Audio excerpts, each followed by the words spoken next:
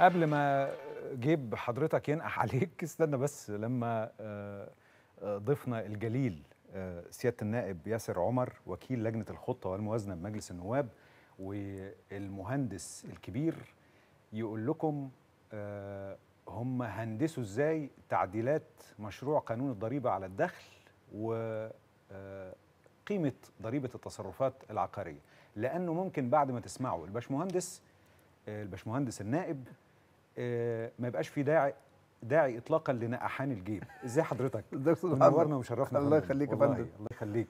آه أنت حضرتك قبل ال- الهوا قلت لي إنه بالعكس ده إحنا هنقول حاجة سنزف البشرى للمشاهدين. إنه ما فيش داعي إن الواحد يقول آه يا جيبي. ده صح؟ أكيد ده أكيد. طيب اتفضل يا فندم ده أكيد. خلينا طبعا نبتدي بضريبه الدخل. هو يعني هو ال- التعديل ده مم. في قانون آه، الضريبة على الدخل. أي فندم في المادة 42 منه. المادة 42 دي كانت بتقول إن ضريبة التصرفات العقارية ب 2.5% الدولة لقت إن هناك ثروة عقارية كبيرة آه. في مصر. مم. للأسف الشديد المسجل منها نسبة ضعيفة جدا جدا جدا يعني. التعديل ده مين اللي قدمه؟ الحكومة ولا الحكومة. الحكومة فالحكومة يعني بعتت لنا تعديل لهذه المادة يبسط المواطن ويزود آه، ويزود الحصيلة لا مش يزود؟ الحصيلة آه. بالعكس آه. يعني يزود الناس اللي هي تروح تسجل العقارات بتاعتها يزود معدل آه. التسجيل أنا هقول لك سؤال يعني حاجة أنت لو شقتين جنب بعض مم. شقة مسجلة وشقة غير مسجلة ورايح سيادتك تشتري شقة. اي فندم هتفضل أنهي شقة؟ مسجله قطعا. مش كده؟ قطعا. بالظبط كده. آه. أنا بس كنت عايز أسأل حضرتك نسبة التسجيل حضرتك عارفها؟ ال- الحالية؟ الحقيقيه نسبة تسجيل أقل من الواحد في المية. يا إلهي. آه. الم- المسجل ده القليل في عموم القطر المصري. في عموم القطر المصري. 1% من ثروتنا آه. العقارية وعلى فكره بس وعلى المسجل. فكرة آه. آه، ضريبة التصرفات دي على الدولة كلها. عدا القرى. مفيش قرى أيوة. فيها ضريبة تصرفات برضه عشان آه. الأمور تبقى واضحة. يعني المباني اللي جوه القرى. معفاة من هذه الضريبة. مهما كان حدث من تصرفات اي فندم المدن فقط. آه في المدن فقط لا غير. آه طيب أنا آه، قطعت حضرتك وأنت بتتكلم بقى عن الأخبار السارة آه. اللي إحنا يعني في بص أمس الحاجة آه إليها. بص حضرتك القانون طبعا القانون ده قانون قديم. آه. والقانون من الأربعينات وتعدل كذا مرة و, و صدر في سنة برقم 91 في سنة 2005 مم. وحصل عليه تعديلات كتير. وكان يعني آخر هذه التعديلات كانت في- بالقانون 11 لسنة 2013 أي فندم بتاريخ 19 5 م. 2013 طبق هذا القانون. نعم. وبالتالي التعديل الجديد اللي اتقدمت به الحكومة واللي إن شاء الله هنناقشه في اللجنة يوم الأحد القادم بيحط مبالغ مقطوعة للتصرفات العقارية اللي حدثت قبل 19 5 2013 أمال بعد 2013 كان إيه؟ لا بعد 2013 هو ال 2.5% 2.5% آه. ما تقلش مليم. لا ده قانون. آه, آه. قانون. آه. قانون. يعني يعني المشروع الجديد لن يحرك بتاتا نسبة ال 2.5% لا، لا. اللي بعد 2013 آه. آه, لا خد بالك زمان كانت أكتر من كده. آه. يعني زمان كانت يعني يا 5% وكده. اي فندم فهنيجي للتصرفات التي حدثت للوحدات العقارية أو الأراضي اللي إيه في المدن وليس القرى. إيه نحط مبالغ مقطوعة. يعني أيوة. التصرف لغاية 250 ألف جنيه. مم. كل اللي عليه 1500 جنيه. مم. وعلى مين؟ على آخر واحد اتصرف بالبيع على البائع الأخير. يعني لو هذا هذه الشقة اتباعت 10 مرات آه. هي عليها 1500 جنيه مرة واحدة ويدفعها آخر واحد باع قبل 19 5 2013 آه. طبعا دي هتدي فرصة كبيرة قوي واللي, واللي, واللي قبليه حلال عليهم. واللي قبل اللي باعوا قبل كده خلاص ما عليهمش حاجة. اولا أنا عايز أعرف من حضرتك التصرفات دي إيه غير البيع والشراء؟ في حاجة تاني؟ لا لا مفيش. هو هو هو البيع هو والشراء. البيع والشراء. طيب. وعلى البايع تاني حاجة برضه عشان على- على البايع البايع عشان الكلام يبقى البايع واضح. اللي هو هيقبض. على البايع اللي هو هيقبض. آه. آه. الحاجة التانية بقى وأنا أنا أنا آسف إن أنا. قطعت حضرتك تاني بس الأسئلة كتير. مم. الحاجة التانية هل من العدل إن أنت تدفع آخر واحد والخمسين واحد اللي قبله براءة. ما إحنا عشان أنا بكلمك بس في فلسفة المشروع. آه آه. ما هو المشروع ده الهدف الأساسي منه أنا عايز أحافظ على الثروة العقارية بتاعتي اللي في مصر. اي فن وقلت لك كمثال حط شقتين أنت رايح تشتري قلت لي هاخد المسجلة. صحيح فن قطعا. يبقى أصبح النهارده إن أنت بتزود قيمة العقار بتاعك مم. بمجرد إن أنت بتسجله آه. عشان نسهل الأمور. قلنا اللي قبل آخر تعديل. هنعفيهم من في المية وهنحط مبالغ مقطوعة. أيوه العقار لغاية 250 ألف جنيه 1500 جنيه. العقار من 250 ألف جنيه واحد لغاية نص مليون جنيه 2000 جنيه. مم. من نص مليون جنيه واحد لغاية مليون جنيه 3000 جنيه. نعم. أكتر من مليون جنيه زي ما يكون 4000 جنيه مبلغ مقطوع. يعني لو أنا آه، لو عندك عقار ات- ات- إتباع آه. ب 10 مليون جنيه آه. قبل 19 5 2013 آه. هي اللي عليها 4000 جنيه بس. يا إلهي. مهما تعدد آه. البيع. آه. ودي طبعا عارف يعني فرصة إن إحنا نحافظ على الثروه العقارية بتاعتنا.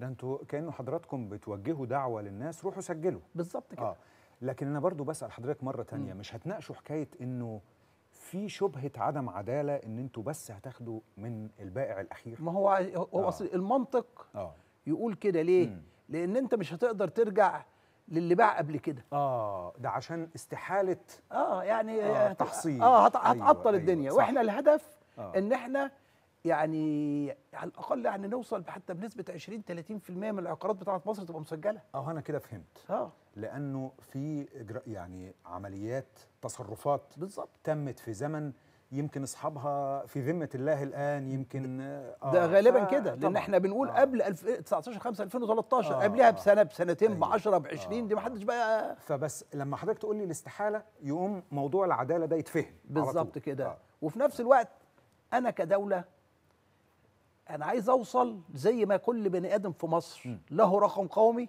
كل عقار في مصر يبقى له رقم على مستوى الدولة كله معروف. تمام. واخد بالك إحنا عايزين نوصل لدي. أيوه. ما نقدرش نوصل لها إلا لو نسبة التسجيل عندنا عليت. آه. يعني ده الحاجة الوحيدة اللي تقدر توصلنا لأكبر عدد من العقارات في مصر. كده بحافظ على العق- العقار بتاعي وكده بديله قيمة. يعني أنا العقار اللي بسجله ب 1500 جنيه أكيد رفعت قيمته مثلا أضعاف هذا الرقم.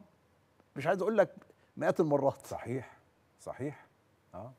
أي حد آه. بيفهم في السوق ده ما عارف بقى الحكاية دي؟ أنا سألتك سؤال. لو اتعرضوا عليك اتنين لا. واحدة في نفس الدور بتسجلها والتانية مش بتسجلها. قلت آه. اخد اللي بتسجلها آه. وأنا زيك كده. آه. ده هو يا فندم ده ده مش بس بيرفع قيمتها ده بيؤمنها. آه، بالظبط. ليه بقى؟ انت حضرتك ساعات تمر كده على قطعة أرض فضاء هتلاقي مكتوب عليها بالجير الأبيض كده أيوة. دي مسجلة. أيوه. يقوم محدش يقدر يقرب منها. كلمة مسجلة آه. دي يعني بتقوي قيمة هذا العقار. قوة الدولة. آه. آه. آه. قوة الدولة المصرية. طب دي, دي أفكار بديعة الحقيقة. إمتى ده يدخل حيز التنفيذ بقى؟ يعني قدامه مدى زمني قد إيه؟ ده إن شاء الله. يوم الحد القادم هننتهي منه في اللجنة. اي فندم وهننزله إن شاء الله آه، لأمانة المجلس إن شاء الله يعني بعدها بيوم ولا حاجة. مهم. طيب أنا أنا بس مرة تانية عايز أرجع لحضرتك في فكرة شبهة عدم العدالة. يعني طبعا دي حاجات أنا ما أفهمش فيها. لا أنا إيه، أنا بس آه. أنا بس دوري إن أنا أطرح السؤال. أيوه. السؤال هو يعني لما حضرتك قلت التاريخ بتاع 2013 على- 19 عشان ده اللي صدر فيه. اللي هو 19 5 آه. آه. اللي تم آه، يعني العمل بالقانون 11 لسنة 2013 يوم 20 5 أنا بعت شقتي. لا خلاص 2.5% 2.5% آه. 2.5% حضرتك مش شايف إن دي كمان يعني حاجة كده؟ لا يعني دي يعني آه. هو حظك بقى كده. آه. آه. حظك حظك كده. ده يوم 19 5 نعم. بعت شقتك مش يوم 20 أيوة، 5 أيوة فندم. هتدفع 2.5% صحيح. بعت بعد كده هتدفع 2.5% مم. مم. هل كان بس مين اللي هيدفع؟ آه البايع البائع طبعا آه يعني هذه مسؤولية البائع آه. وما تقوليش مثلا إيه أن البائع والمشتري كاتبين إن يتحمل المشتري طبعا. آه لا مفيش حاجة اسمها يتحمل. المشتري إن أنت ما تقدرش تخالف قانون آه التعاقد مع الضر... مع الضرائب آه هتدور على البايع ملهاش. دعوة إيه باللي اللي, اللي, بيتحمل المشتري ده بينهم هما الاثنين مع بعض ده هو التعاقد لكن مصلحة. الضرائب آه. مسؤولة عن تحصيل هذه المبالغ اللي هي لما بتحصلها المصلحة بتبقى في طبعاً. حكم المال العام خلاص يا فندم أي تعاقد بيحترم نفسه يعني يحترم القانون. تلاقي مكتوب في ديباجته كده آه هذا بما لا يتعارض مع القوانين بالظبط. السارية والمعمول بها في الدولة المصرية بالظبط كده فهو أي شيء يتعارض هو بحكم التعاقد نفسه مش صحيح. صح كده. آه باطل. أيوه آه، أخيرا قبل ما نروح لمداخلتنا مع آه، سيادة النائبة ميرفت آه، الكسان عايز أعرف من حضرتك هل تتصور إنه حين يقر هذا المشروع ويصبح قانونا إنه يصبح في إقبال من هؤلاء الملاك على التسجيل و و وتظل الملكيات اللي هي بتاعة ال 2.5% ما. بعد 19 أيوة. 5 2013 تظل ناقصة التسجيل في الحالة دي بقى عندنا خلل برضه محتاج علاج لا يعني هو طبعا يعني يعني التصرفات خلال سبع سنين حاجة مم. وخلال 100 سنة لورا حاجة صح، تاني صح. فهتلاقي دي عددها أقل بكتير مم. لأن حتى اللي اشترى حاجة بعد كده غالبا إن هو الحاجة قعدت له ما بقى هتصرفش فيها أيوة. ولو اتصرفوا يبقوا قليلين فهي الأكثرية ما قبل 19 5 2013 آه ويمكن بقى ربنا يديك العمر ويدينا كده العمر ويبقى في تصرف تاني. لا وب... لا بعد كده لا آه. ال 2.5% دي دي أقل نسبة فندم. على مدار آه، مثلا 60 70 صحيح. سنه لورا. يعني قبل كده كانت 5% والله أعلم قبل ال 5% كانت أكتر من كده ولا حاجة. صحيح. عشان كده ما حدش سجل. آه فهي ميسرة. فهي أصلاً. 2.5 تعتبر برضه ميسرة. الآن تنضم إلينا إذا كما آه، قلت لكم آه، مشاهدينا الكرام سيادة النائبة ميرفت ألكسان عضوة لجنة الخطة والموازنة بمجلس النواب منورانا ومشرفانا يا فندم. أهلا بيك يا فندم واهلا بالمشاهدين الكرام وبالضيف العزيز ياسر بيه وكيل اللجنة. الله يخليك يا فندم.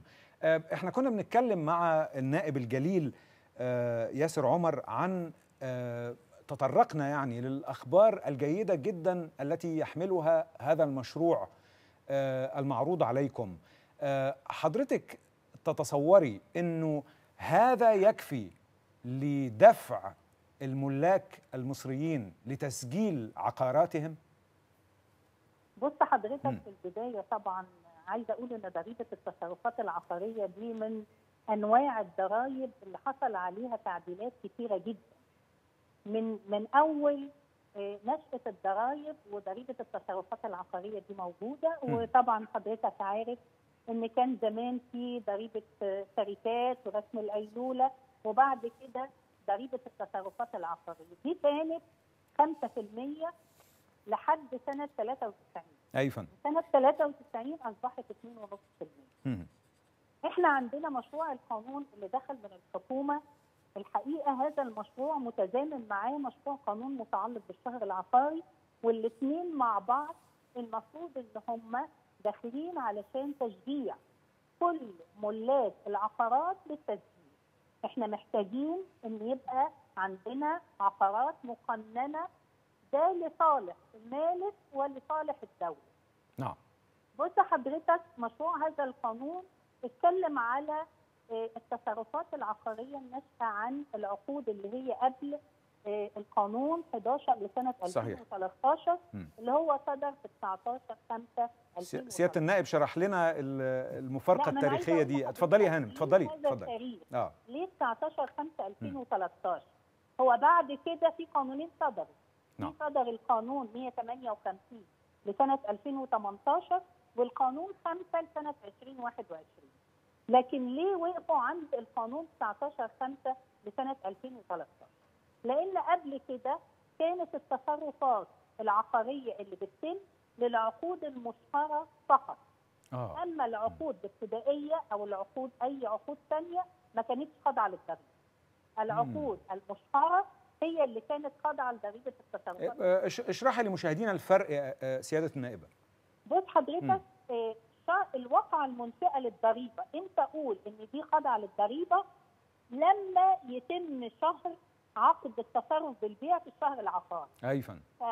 هذه العقود اللي قبل 2013 دي بس اللي كانت خاضعة لضريبة التصرفات العقارية 2.5% مم. زائد إن أنا ما كانش عندي غرامة تأخير لعدم سداد ضريبة التصرفات العقارية. فالشرطين دول هم الفيصل ما بين العقود اللي قبل 2013 والعقود اللي بعد آه. 2013 هو حاليا بعد 2000 حاليا يا هانم القانون فرض غرامة تأخير؟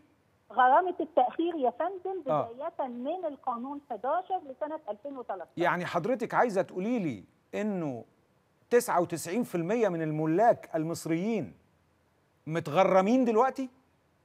أيوه يا فندم اللي ما بيسددش ضريبة التصرفات العقارية بعد شهر من آه، تاريخ عقد البيع أو عقد التصرف آه. بيخضع لغرامة التاخير اللي وارده في المادة 110 من قانون الضريبة. هل هل ده مبلغ كبير يعني؟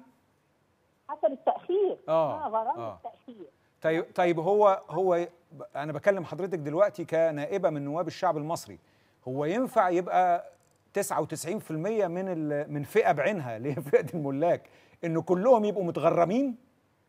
لا. بص حضرتك ما هو علشان النقطة دي آه. بص يا فندم عشان النقطة دي أعتقد إن الحكومة لما دخلت مشروع هذا القانون دخلته متعلق بالتصرفات اللي قبل 2013 اللي ما كانش عليها غرامة تأخير نعم. فطبيعي كل الناس اللي معاها عقود ابتدائية وما تمش شهرات الشهر العقاري هي بتشجع كل الملاك دول إن هم يتقدموا للتسجيل لل- ل- لسداد ضريبه التصرفات العقارية بمبالغ مقطوعة زي اللي وارده في مشروع. آه آه عشان نفض نفض الاشتباك يا هانم عشان آه. الاشتباك ده مم. دي مهمة جدا يا. طبعا التعديل ده لفض الاشتباك ما بين يعني المشاكل اللي ناتجة عن التطبيق قبل 2013 وبعد 2013 سيادة النائب المهندس ياسر عمر وحضرتك آه، يبدو أنكما في غاية الحماس لهذا المشروع. ما عندكوش ملاحظات؟ أنا هاخد ملاحظات حضرتك وبعدين دي أرجع لسيادة النائب. ملاحظات يا فندم. دي أكيد ملاحظات آه. هنشرحها في اللجنه ايفن في ملاحظه هو أنا ليا ملحوظة الحقيقة استغربتها إن مشروع هذا القانون مم. اللي اتقدمت بيه وزارة العدل ايفن وليست وزارة المالية. ولكن أنا بربط ده مع المشروع الثاني المقدم لتعديل الشهر العقاري. واللي الغرض منه واللي إحنا كلنا بنشجعه.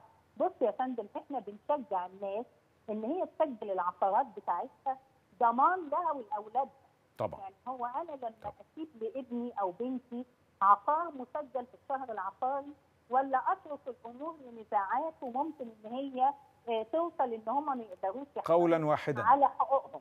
صحيح. فالحقيقة هو مهم جدا ان أنا أطلب من كل واحد يمتلك عقار بعد صدور آه، القانون المتعلق بهذا التعديل. والقانون المتعلق بتعديل الشهر العقاري كل العقود القديمة اللي قبل قبل 2013 روح سجل.